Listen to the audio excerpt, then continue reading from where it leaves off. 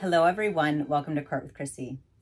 Today we visit Judge Simpson, and up first, the defendant that needs no introduction the man, the myth, the legend, who now has a driver's license, Mr. Harris. And that'll be followed by someone who's new here.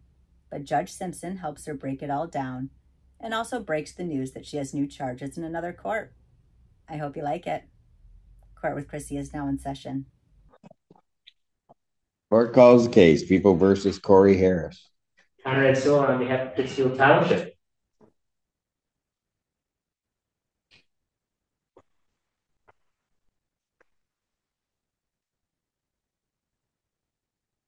May it please this honorable court, Deon Webster Cox, on behalf of Corey Harris. And we have good news. All right, yeah, I know. Go ahead, I'll let you say it. My client has his license, your honor. It's fine.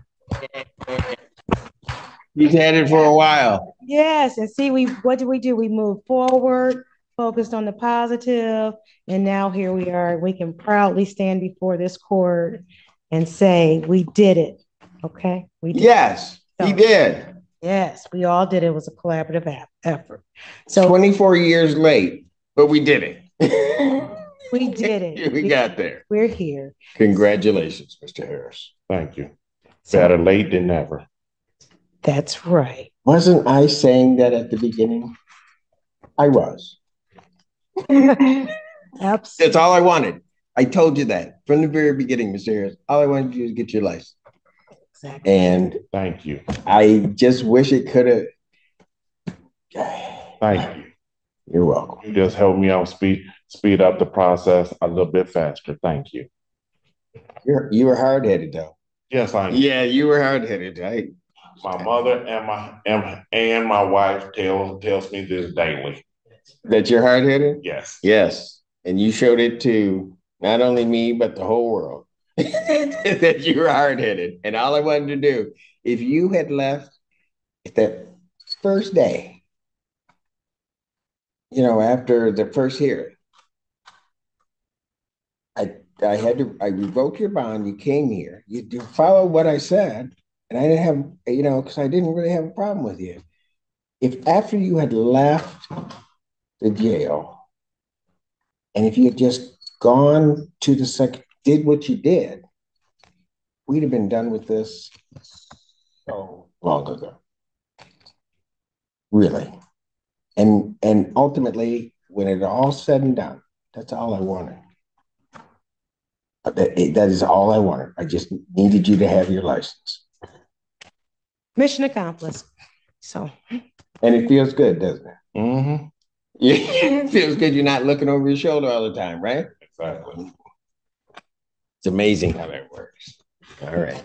And I did, not that I'm a social media person because I don't watch social media, but I saw him do his little dance out there in front of Secretary of State that was after his training, after he passed the test. after he passed the test. So we were documenting the process. And right? and as long as and I knew so like I said on the record, I kind of said it a little quip and a little snarky and probably shouldn't have said it that way. But I knew if he just passed a written test, the driving thing wasn't going to be a problem because he had been doing that for 24 years. So it didn't, hey, he was going to be able to pass that part.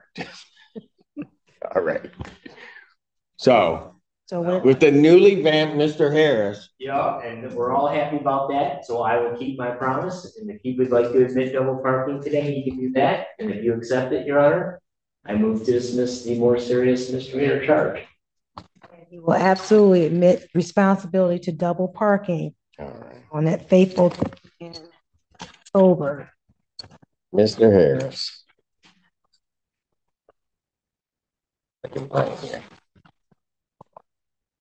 Mr. Harris, on, do you admit responsibility to the fact that on October seventh, two thousand twenty-three, location of Ellsworth Road near Lohr Road, Pittsfield Township, Washtenaw County, State of Michigan, that you double parked? Yes. Satisfied? Court will accept the defendant's plea to count two, count one is dismissed. Anything you want to say before I impose fines and costs? Uh, Your Honor, my client has, uh, I'm asking that the fines be, um, as much as this court can, because he, he and his wife are both, um, out of work and they've been working diligently trying to find work. But, um, it's just, things are financially, the margins are, and as a result, we're just asking that court, in addition to what the court has already done, that So after all this, you're asking me to do something nice? I am, you know, I'm gonna ask, that's what I do. Oh. Do I do nice things? I don't. No, I don't. Well, thanks, thanks for volunteering that, Pat. Mr. Harris, Yes, sir.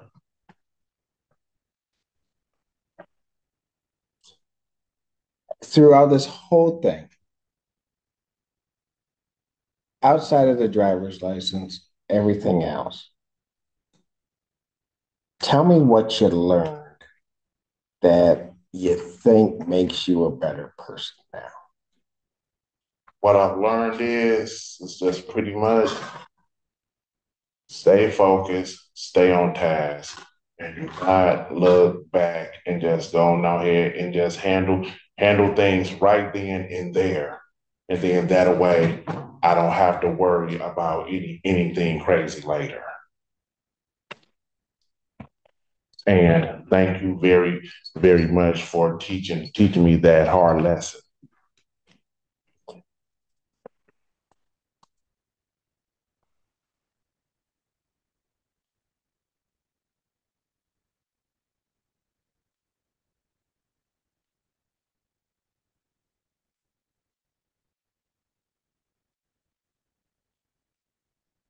Maybe one day we'll meet out on the street under better circumstances.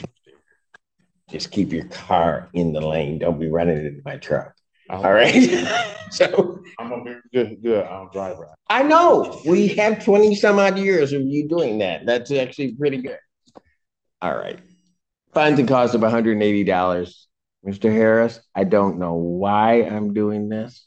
It is absolutely against my better thought, but I'm going to do it. I'm going to waive the entirety of the 180 and um, fines and costs. Thank you, You're all set. thank you, Your welcome. Honor.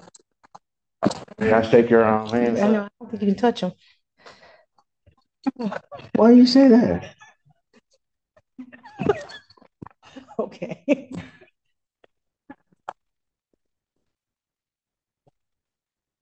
Thank you. All right. All right. You're welcome.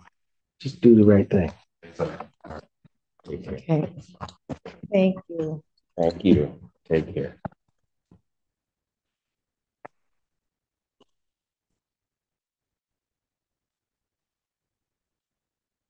That's all your people around the courtroom waiting for you? Did they think you were gonna get locked up again? That's your daughter. That's her, her daughter. This is my wife. That's your wife. So she came to make sure you didn't get locked up again. She kept you straight. All right.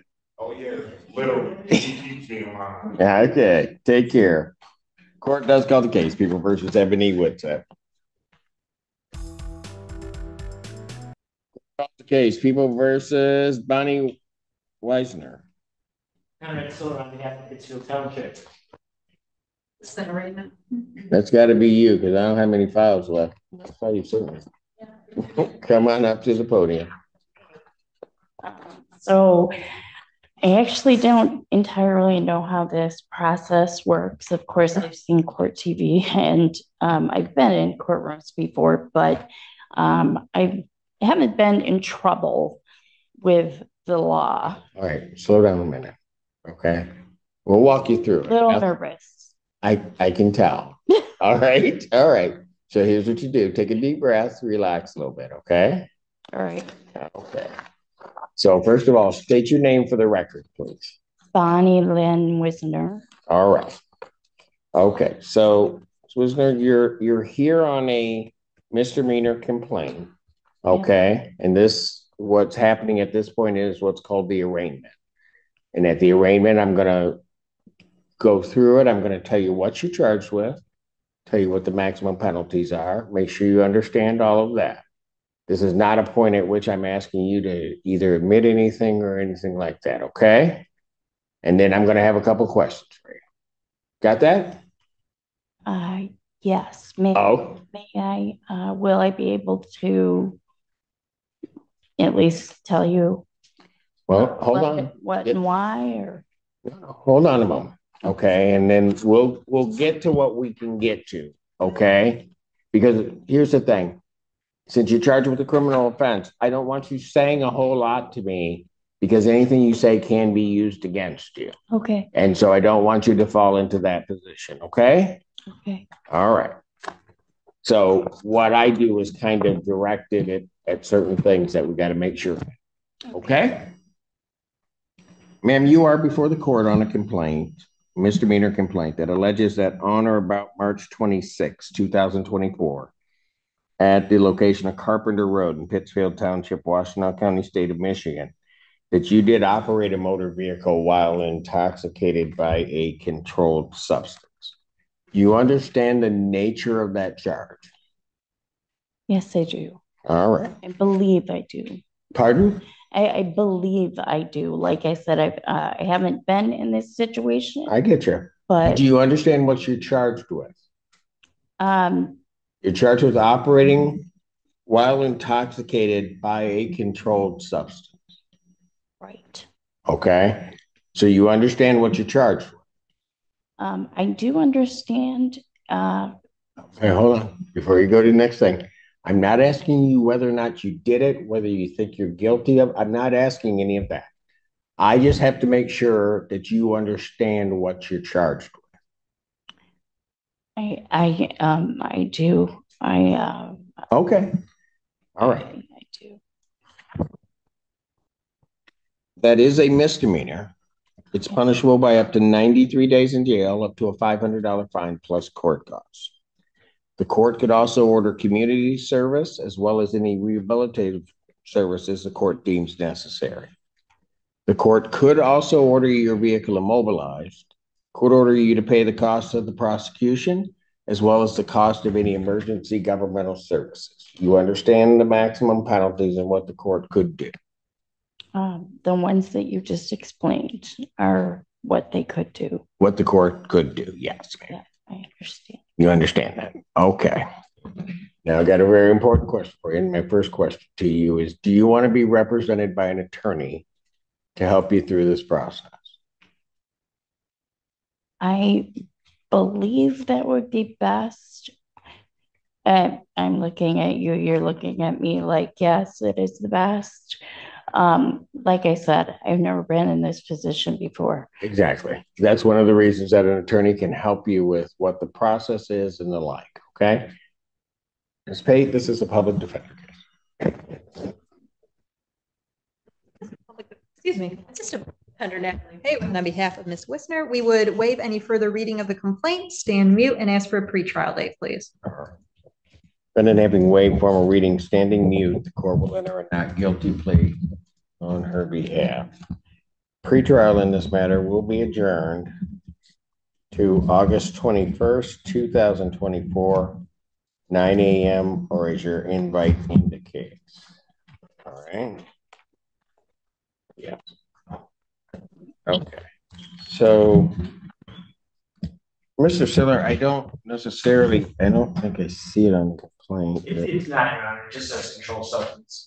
The substance was hydrocodone, also known as Vicodin. Okay. She, was- there's no crash, or she was passed out on the wheel in the roadway. Okay.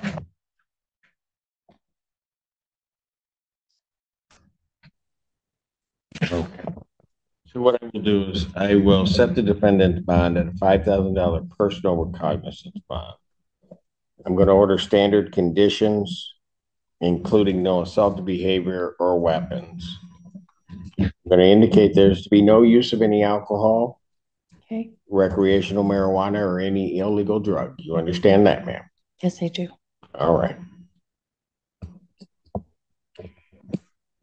What I am Uh, gonna, May I ask a question? certainly, Um, so I, uh, I'm driving around with a temporary license.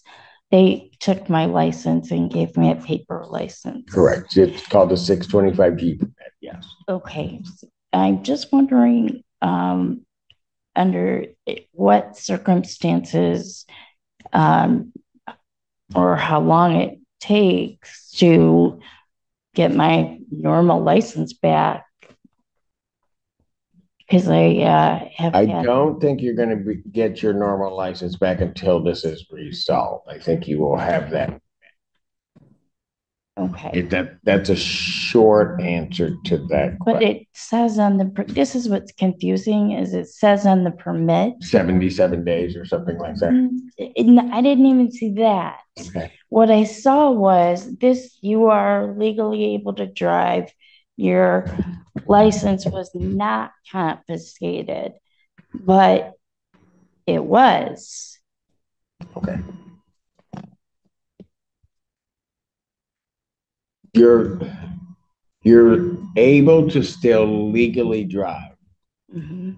on that permit, on that piece, with that piece of paper, Right? okay? Okay, Your physical license was taken, yes, but that did not affect your driving privileges. okay. So you can drive, you have the privilege to drive. You just don't have that license. Okay, I, I do have a, a question for you. Okay. Yeah, I'm so sorry. I, I, No, it's like I okay. said, It's okay. Um, you, um, I was a, uh, victim of domestic violence. And, um, and actually you were one of my only saving graces ever that kept my kids and I in my house. And I thank you. And, uh, sorry, I'm trying not to be an emotional mess.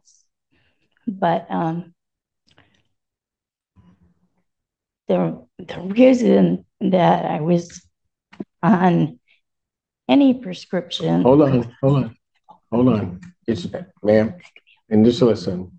It's not that I don't want to hear from you. I just, like I said before, I don't want you to say anything that might incriminate you or could be used against you. And I think that's why Miss Pate was whispering in your ear.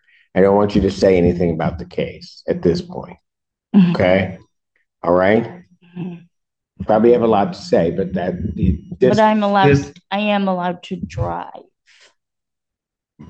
My understanding is that you should be allowed to drive, and I will just double check it. Your, my record indicates that your license is valid with, the- your privilege to drive is valid Okay. with the six twenty-five G permit, which is that piece of paper that they gave you. Oh, okay. Um, so should I obtain a state ID Ma'am. I can't advise you as to anything. I will just say this. Because of this last case, you cannot have both. So you can't have a Michigan driver's license and a state ID.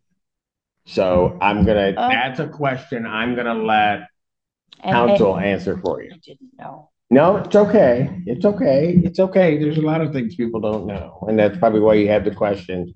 But you got a great group of attorneys. Let them, let them answer some of your questions. Okay, that may be part of the problem. There's an arraignment pretrial. When? August twenty-first. On this one? Yeah. Okay. Okay, so you got another operating while intoxicated case? Do you, you're aware of that? No, I'm not. Okay. You said that's at fourteen two. Fourteen, it's an arraignment pretrial. Do you have an offense date on that? April twenty-first this year. Okay.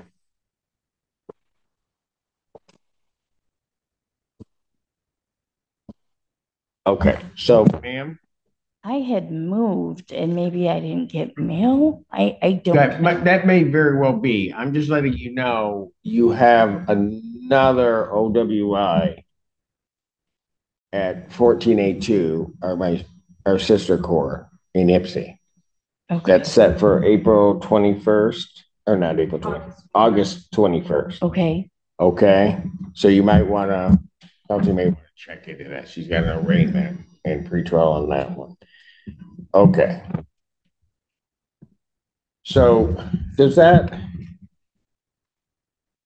That just lists the charge. I- I can't tell if that's alcohol or drugs. Correct, yeah, I can, well, what's? It's not alcohol. Maybe drugs. Yeah, I don't know. Okay, all right, that's, that's okay. We'll let them deal with that.